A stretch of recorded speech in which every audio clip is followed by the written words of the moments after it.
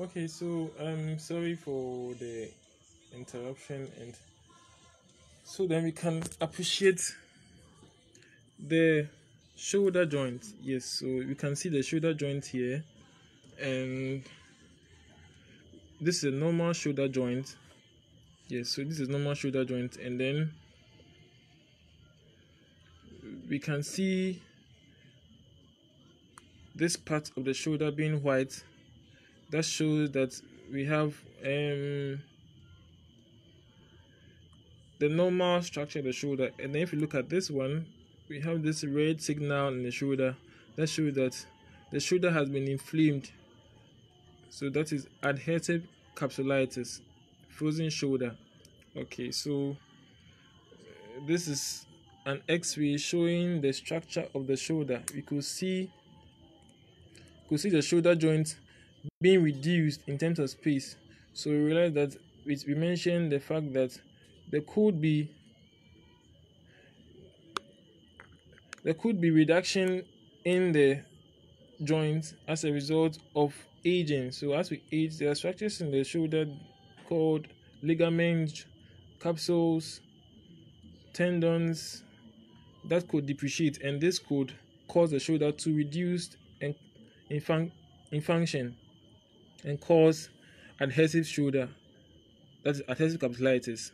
So this anatomy of the shoulder, and so we can see this the clavicle, the collarbone. This is a collarbone, and this is the coracoid process. It's very important structure, and this is the capsule. You can appreciate the capsule. This is the capsule. So when the capsule is inflamed, we diagnose the patient as adhesive capsulitis when the capsule is inflamed. This is scar tissue and this is a bursa. Yes, so this is the bursa. So we mentioned bursitis in the previous lectures, previous presentation. And this is the scar tissue. So when the shoulder is inflamed and nothing is done about it, it could form a scar and these are structures that connect the arm. This is called a biceps tendon. So it holds the arm in place and helps movement in the arm. Okay, yes. Okay, so let's look at another picture. Uh-huh. So this is the shoulder. This is the capsule. The capsule been inflamed, and when the capsule is inflamed, after some time, it forms a, it forms something called fibrosis that hardens and further limits the movement of the shoulder and even the arm. Okay so this is some various things we can talk about. So we mentioned some of the factors that cause frozen shoulder that's adhesive capsulitis as being idiopathic and secondary that is primary and secondary. So the secondary conditions that we can have tears in some of the structures in the shoulder. And then the extrinsic is where we have trauma, that is where we have a boxer being blown to the shoulder. This could cause inflammation in the capsule and then be diagnosed as adhesive capsulitis. We also have contusions. That is contusions mean meaning that um we will have um contusion means we have tears in the shoulder region, that is the near the capsule or the capsule itself. Subluxation, this is refers to as drop in the shoulder. So we could have the shoulder dropping but not fully off to the arm coming down of the shoulder joint but not fully of the shoulder joint.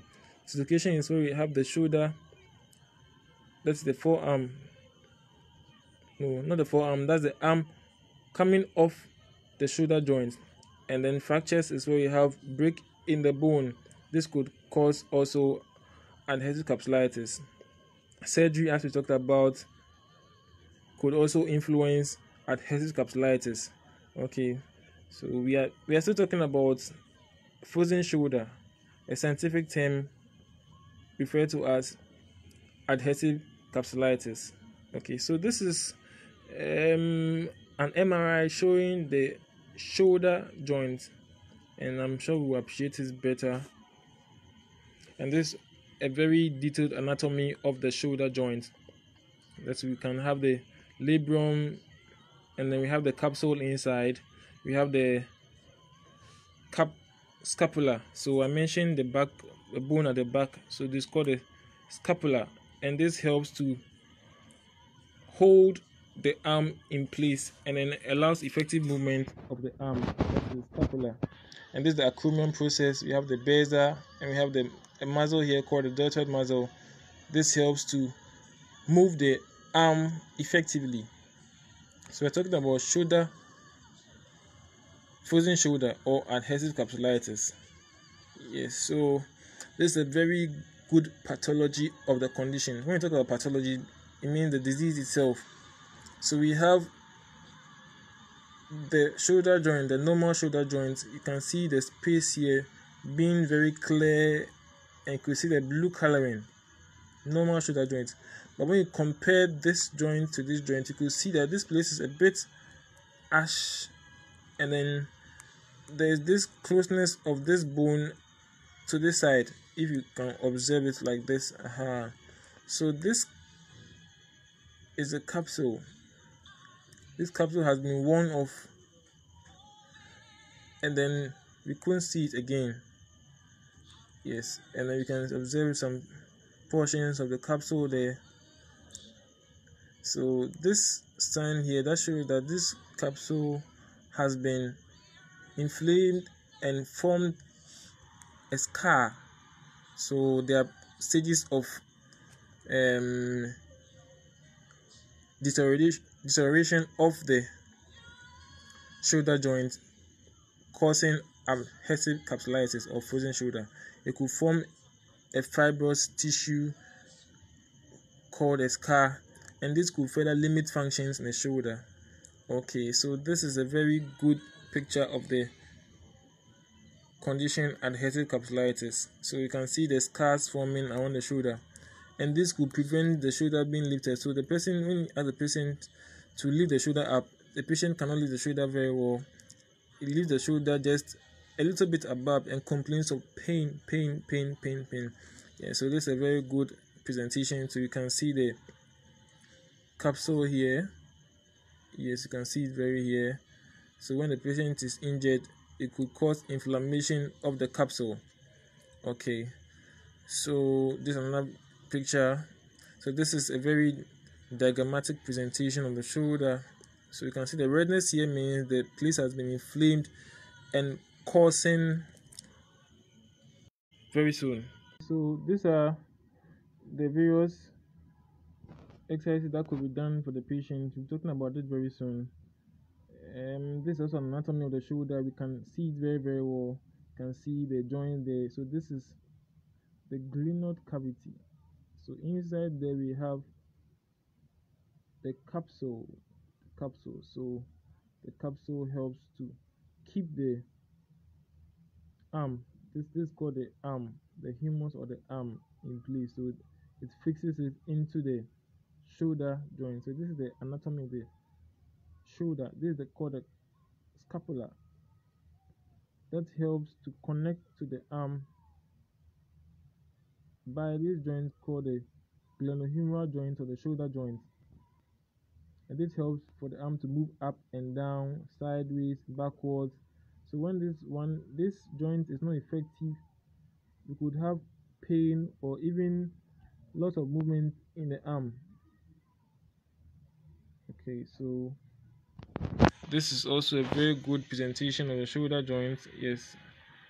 Another one. So when the shoulder is inflamed we have frozen shoulder and could affect other structures also around the joints you could have tendons being affected you could have ligaments being affected. So just one condition could have a ripple effect on the other structures in the shoulder. So this is also a very good presentation. So we can have the fibrosis that is the hardening of this structure this side here and this is the normal shoulder joint. You can see the blue color here that shows that the joint is intact. And this ash structure shows that there is inflammation and there is fibrosis that is hardening of the part of the shoulder So when I ask the patient to raise their hands up, because of the limited movement here, the patient complains of pain, pain, pain, and can't perform his activities very effectively. Okay, so this a shoulder, you can see anatomy of the shoulder. Okay, so these are various. Okay, so the basic components of the shoulder are the scapula, the clavicle, and then the arm connected by other structures. We have muscles, we have tendons, we have bases, we have other structures. Okay, so this is the normal shoulder joint. This is the inflamed shoulder joint called frozen shoulder or adhesive capsulitis. Okay, so we can appreciate more here. You can see the shoulder being inflamed. I could see some whitish covering that shows that there has been hardening, that is fibrosis of the shoulder joint, and this could limit movements in the shoulder joint. Okay, so this is a very very good anatomy of the condition. So you could see this reddish shine that shows that there's injury to the shoulder joint, and then you can see the reddening. That means that there's some blood flow there, and the reddening is because they are their vessel their blood vessels around the shoulder. So in case there is trauma there and the vessels are burst, blood oozes to the shoulder joints and this causes the place to look reddish. Okay. Okay. Okay, so this is the, an X-ray of the shoulder. You could see a space in the shoulder here. You see a space in the shoulder here, but you can see that this space is quite reduced. Either this one is also reduced, and so the reduction could imply that the place has been reduced in terms of the structure there, that is the capsule, and this could cause the medical practitioner to diagnose the condition to be adhesive capsulitis or frozen shoulder. So this is another picture anatomy of the shoulder, anatomy of the shoulder, and you see this presentation the patient complains of pain pain pain pain pain. Okay so these are some pictures also. Okay. Okay. So um, I'm, I'm, I'm sure we've seen so many pictures of the frozen shoulder and then we have memories of it as of now. Okay so some of the risk factors of frozen shoulder is diabetes you can have stroke you could have a thyroid disorder that is when you can have inflammation of the thyroid you can have hypothyroidism or hyperthyroidism. And we would have an injury to the shoulder as we talked about earlier on. Yes so just a, a reminder we're talking about the condition called frozen shoulder frozen shoulder and could have also a condition called avascular necrosis that is where we have poor blood supply to the shoulder this will cause stiffness of the shoulder and could cause the stiffness of the shoulder known as frozen shoulder or adhesive capsulitis. There are so many causes and risk factors. Um, so then we are zooming in to talk about clinical presentation. So how will you know that someone has got frozen shoulder? Well, it's very visible. So when someone has frozen shoulder, when you the patient to lift their hands up, there's limitation in the movement of the arm, especially lifting the hands up like this. The patient, when I ask the patient to lift his hands up, the patient cannot lift his hands up. The patient does this, tries to compensate with the whole body and lifts it up like this. So this could, this could imply that the patient might have had injury to shoulder joints, but then it's still inconclusive in terms of diagnosis. Are other various clinical procedures that we go through to firmly confer or conclude that the person has had frozen shoulder. We have other tests. We have um, the use of an X-ray or use of an MRI, which we saw in the in, the, in the previous seconds ago of the MRI showing the shoulder reduction in the space. And then we can say the person has had frozen shoulder or adhesive capsulitis. Okay so some of the presentations are that the person cannot button the shirt, especially in females, they're unable to button the back of their dresses, and then this could infer that the person had frozen shoulder. Also, the person has difficulty in terms of sleeping at night. Yes, so the person comes to hospital and says, "Oh, in the night I can't sleep. My shoulder, my shoulder, I feel pains in my shoulder," and then it could mean we can zoom in to talk about the diagnosing the patient as having frozen shoulder. Okay, so then we are come to talk about the phases of frozen shoulder. We have three main phases of frozen shoulder. You have one the acute phase or the freezing phase or the painful phase. And this phase lasts for two to nine months. Two to nine months. The acute the freezing or the or the painful phase. So one of the phases of frozen shoulder and it lasts for about two to nine months. And this stage we have very very severe pains in the shoulder. And this occurs mainly at night. So at night the patient complains of pain in the shoulder. Yes so this is the first phase. The second phase is where it becomes quite a bit intense also known as the adhesive or the stiffening phase or the frozen phase the adhesive the frozen or the stiffening phase where the shoulder has quite limited movement as compared to the first phase so the first phase the patient is able to raise the hands up but there's pain inside especially at night. But with this case there's much much much pain and there's increased stiffness in the shoulder. And this is called the frozen phase or the adhesive or the stiffening phase and this lasts for between four to a year that is 12 months and that means that the number of months of the pain complaints by the patient could infer the stage at which the um, frozen shoulder has reached. So if the patient comes to the therapist or the medical doctor and says, "Oh, this pain has been with me for about a year now," I could see that the patient has adhesive phase or the frozen or the stiffening phase of the frozen shoulder. And if the patient has had it for about two months or less than nine months, you can say the patient has had adhesive, has had um, freezing or painful or the acute phase. And then the next phase is where we have the very intense phase and the severe form, and then we called resolution or thawing phase. And this could last for about from five months upwards to two years. So this is very severe phase where we have um the, the there is very stiff stiff shoulder lifting of the hands up, that's the shoulders up, is very limited. The patient has very limited movement in the shoulder, and this could help us diagnose the condition as the thawing or the resolution phase of the frozen shoulder.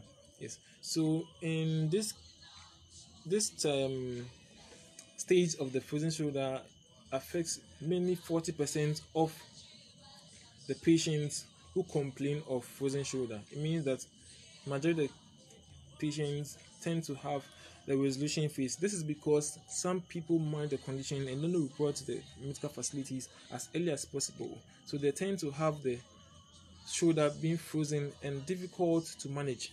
So when you have pain in your shoulder, it's very advisable for you to report to your medical practitioner, your physiotherapist as early as possible. And as I mentioned, the first phase, the patient complains of pain and difficulty in terms of sleeping is very important to note this. And so these are the various phases. So the patient complains of pain, limited movement, and difficulty in carrying activities such as bottoming shirts, especially from the back.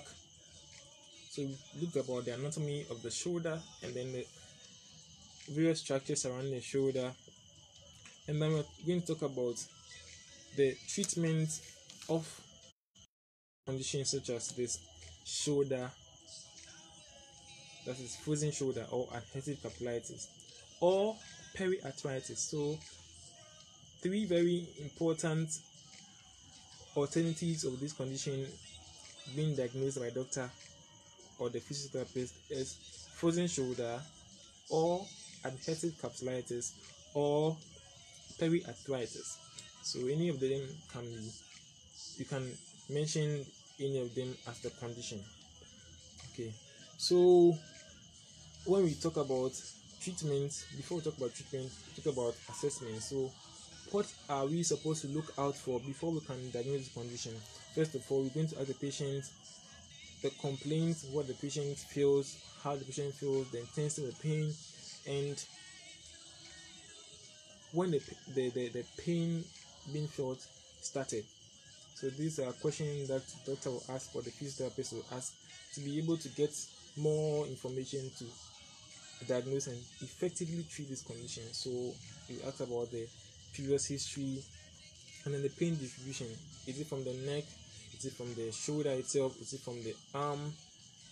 Yes, and this will help us to effectively treat this condition. And then the doctor or the physiotherapist is going to ask you that what causes the pain, what movements do you do to cause the pain to be more intense or aggravated. So we're going to also observe the movement of the shoulder. So if there's limited movement of the arm in terms of raising of the arms up, it will also give us a more better that's a better diagnosis of the condition. Okay, so these are various assessments that we do. We have various tests, we have special tests that helps us to diagnose the condition as physical therapists also to be able to treat the condition very effectively. So we have the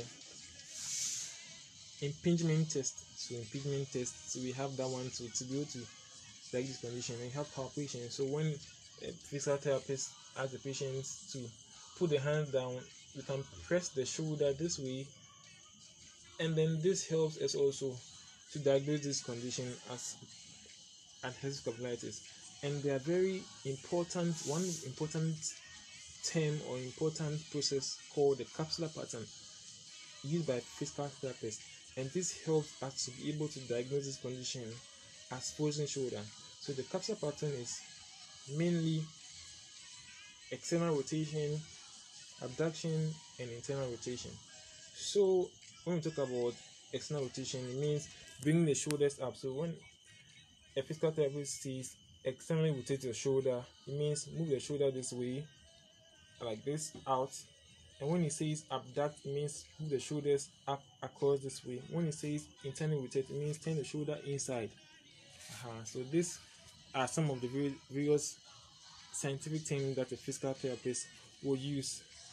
Um, so by the capsular pattern a physical therapist can be able to improve the early diagnosis of the condition called frozen shoulder or adhesive capsulitis or periarthritis okay so there are so many structures in the shoulder we have ligaments we have um, vessels in the shoulder. Okay so then after the condition is diagnosed there are other investigations such as the MRI, the X-ray or CT scan that would also give us a very good picture of the shoulder and then we can appreciate this condition called shoulder that is frozen shoulder or adhesive capsulitis or periarthritis. Okay so um various tests or special tests that we also go through could have the shoulder impingement test. Yes and this could also help us to be able to appreciate this condition. Yes okay. So thank we are still talking about frozen shoulder. Frozen shoulder, and um, we talk about the assessment and how to diagnose the condition. And then now we are okay. Let me talk about. We talk about shoulder impingement test. We also have the shoulder strut test. So when you have the shoulder, the patient to raise the shoulder like this, the patient complains of pain around the shoulder, and this could also infer one to have shoulder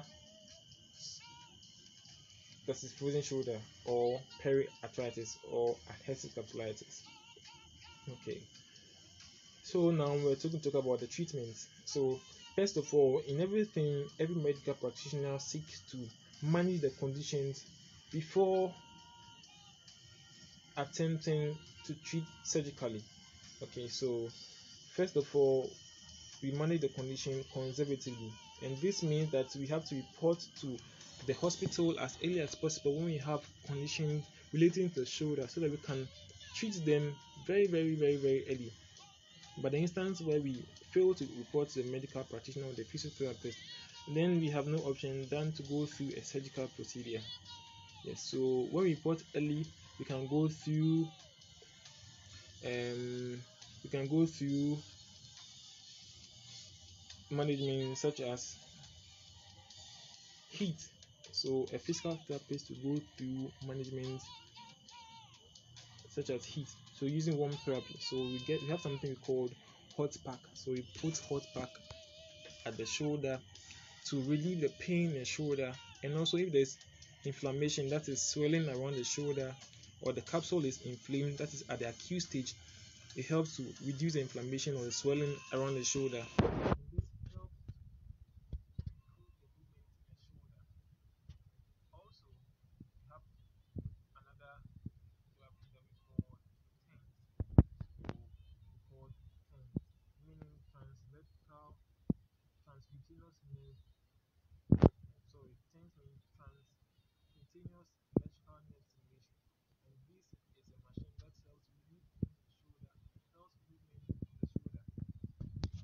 also we have a device we called the infrared. Infrared. So it's a machine that we use that helps also relieve pain in the shoulder as physical therapist. So when we do all these things we could do a massage around the shoulder also. This helps to improve circulation and also help to move the shoulder through an increasing range of motion. So when we are done with all these we also go through various exercises. So when the condition is reported early.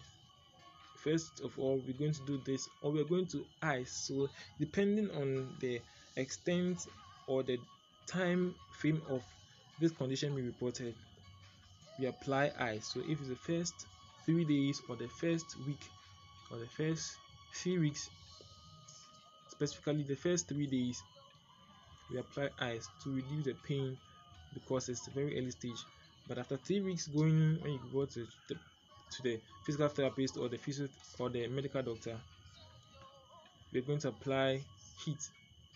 So the physiotherapist goes through heat procedure and then applies the TENS and then goes through various exercises. So we going through various exercises to treating this condition called frozen shoulder or adhesive capsulitis. So it goes to exercise such as so we have wall exercises. So if there's a wall, the wall in front of me, the patient goes to exercise such as raising the hands up. So move the hands up to the painful position and then brings the hands down, goes to the and move the hand down. And this helps to improve the shoulder function and the shoulder range of motion. Also, we have the Codman exercises. So the patient lies on the stomach and brings the shoulder out so as the patient lies in the bed, bring if the if it's the left shoulder, the patient lies in the bed and bring the left shoulder off the bed and move the shoulder across to move across like this in bed. And this helps to improve movement in the shoulder. So this is called Codman exercises. And then also we have auto assisted exercises. So the patient joins the arms to get the hands together and raises both hands up and down, up and down. So this helps also to improve the motion in the shoulder. So there are various exercises that we go through. We have assisted exercises such as getting a long stick. So you hold both stick together and then move the stick up and down, up and down. This helps also to improve the motion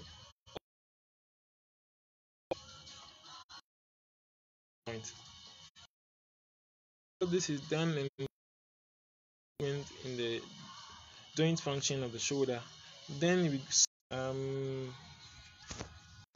we have surgical procedures. We have physical procedures, that is physical therapy, which is using of exercises to able treat this condition.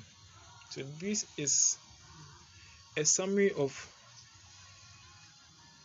what we call frozen shoulder or adhesive capsulitis or periarthritis. So for the last time, we're going to look at the picture. Okay, so we'll be looking at the for the last time the pictures of how the frozen shoulder looks like for for some of us who were not present, so that we can see the frozen shoulder. Okay. Yes. So yeah, so this is the frozen shoulder. Yes. Uh huh. So we can see them very clearly very clearly so you can see the shoulder being inflamed. Yes. Okay. Okay okay okay okay. Okay so thank you very much. Yes i'm sure we've learned a lot from this discussion. Frozen shoulder or adhesive capsulitis or periarthritis. Yes. So frozen shoulder. Yes. Um please any anyone anyone with questions as yeah, questions are fully welcome. Any question, any question, any question. We've had a wonderful time discussing this topic, frozen shoulder, and I'm sure that we've learned a lot. We've learned a lot. We've learned a lot. There are more to talk about. There are more to talk about, but um, if you have any questions, please, your questions are welcome. Your questions are welcome. All questions are welcome yes. Very grateful for us to answer your questions. Yes please any question any question any question? Any question please? Any question? Um any question please? Yes. Um questions are welcome. Um any question please? Yes. Um yeah. Questions are welcome so we're talking about frozen shoulder. Um, any question, please? I can see Angela. I can see Ajua. I can see Joan. I can see Daniel. I can see Genevieve. I can see yeah, so many people. Yeah, yeah, on the discussion. Is any question? Any question? Any question? Um, it looks like we don't have any question today. Yeah. Any question just some few minutes a minute or two for questions. Any question please? Okay. Any question any question? Yeah any question? So you talked about frozen shoulder or adhesive capsulitis. Um, any question please Yes. Um, it looks like there's no question. Okay. So thank you very much for your time, and I believe that we've learned a lot. This topic was frozen shoulder or adhesive capsulitis or periarthritis. So the next topic is golfer's elbow. Golfer's elbow. Yes, I'm sure that we'll learn a lot from the the the the the the, the, the, next topic golfer's elbow yes i'm sure we are anticipating a lot and kindly share the the the the, the, the flyers when they come on yes uh, i believe that we will, will, will, will be very very honored for us for other people also to be able to um learn from us yes yes yes um the next topic is golfer's elbow golfer's elbow yes um, yes. So my name is Richard Kotey. Yes, and I believe that we'll learn a lot. Yes, in the next topic. The topic is golfer's elbow. Golfer's elbow. Yes. Um, any question, please? Any question? Yes, we are still waiting for the question. I'm sure that we'll learn a lot in the next topic. I'm happy. I'm very glad to to to to to to to to, to to lead in the discussion. And I believe that we'll have a blessed evening, we'll have a blessed night. Today is the 11th of October 2020. And I believe tomorrow starts another week. Have a blessed week. take care. Um, we love you. So it's all about Ricoy Health International Foundation sponsoring this presentation.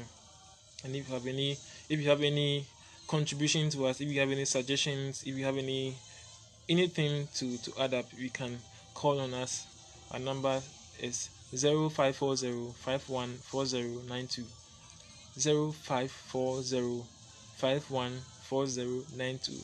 In any support for our presentation to make it better, any suggestions in the comments is welcome. Thank you very much. Have a blessed evening. Take care. We love you. We love you. We love you. Yes. We thank God for a wonderful presentation. Amen.